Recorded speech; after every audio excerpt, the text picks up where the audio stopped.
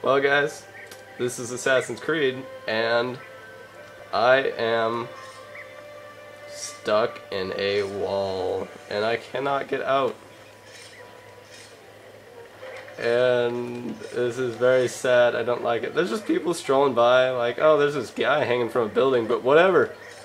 They'll just keep staring till the end of time because I'm stuck in a wall. And there's missions being completed, but yeah, this is this is fun. All I can do is grasp for nothing because I'm like, how? How does this happen? How?